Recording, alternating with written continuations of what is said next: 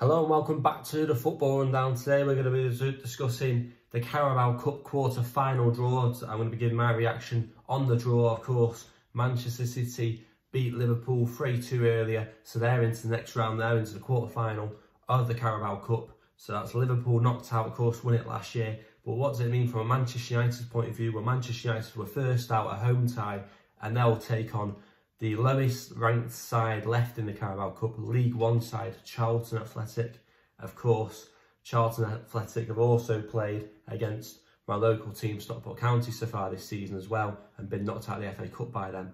But as I say, done really well to get this far, the Carabao Cup, but Manchester United have struck lucky with this draw, and they will take on Charlton in the quarter final. You'd expect to win, you'd expect to place in the semi final for Manchester United and Erik Ten Hag.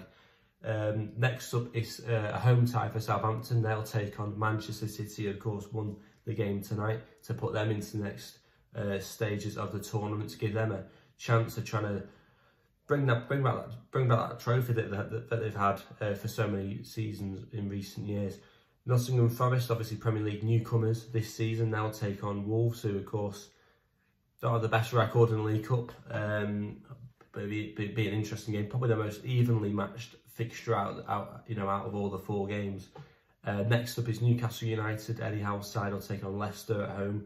I think this is a big game actually. I think that Leicester have had, they've had a mixed start to the season, very difficult start to the season actually. I think that the only uh, the only spark from has been James Maddison, and it's going to be interesting to see how he picks up his mood, having been so desperate to get in that World Cup squad to not even get a kick of the ball during the tournament.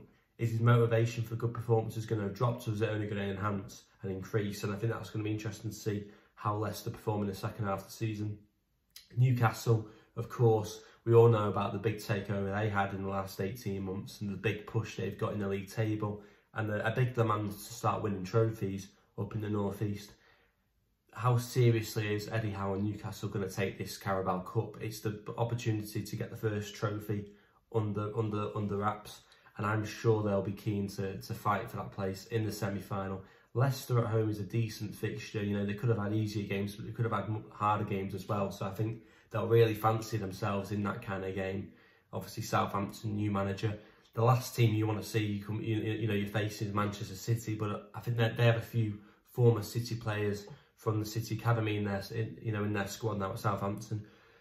It's going to be interesting. You'd expect to see um, Manchester City just run Southampton right in that kind of game. Similarly with Manchester United over Charlton, I think Forest and Wolves will be a decent and more levelled match. And I think probably Newcastle and Leicester should be a more levelled match as well. But you'd expect Newcastle to be in the uh, semi-final. If I was to give a prediction now, you'd expect Manchester United to be in the semi-final, Manchester City to be in the semi-final, probably Wolves to be in the semi-final and of course Newcastle. But of course football doesn't always work by who's strongest on paper. Um, but I think Newcastle are a big side to watch. Um, they're coming around the corner quick uh, in terms of the top table of the Premier League and this is a fantastic opportunity to get, as I say, their first trophy under wraps. So that's been my reaction to the Carabao Cup draw quarter final getting close now to that semi-final. I think they still do two legs, uh, but as I say, it's getting closer to silverware, the first piece of real silverware in the season for clubs, and I'm sure now you're going to see um, a lot more competition uh, to, to try and get into that semi-final. Whenever that will be played, I think it's early January, um, maybe mid-January, so it's, it's going to be interesting to see. But from a Manchester United point of view, very happy with the game against Charlton and uh, you, as I say, you'd expect you'd expect to see um, Ten Hag's side book a place in the semi-final after that.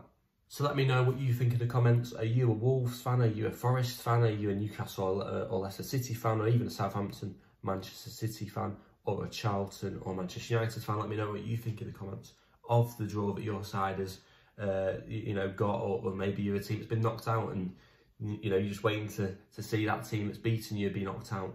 Let me know what you think of the draws. Are you happy with it? Uh, what is the best game in the draw in the quarter final? Uh, don't forget to like the video and subscribe to the channel for more content coming up in the next few weeks.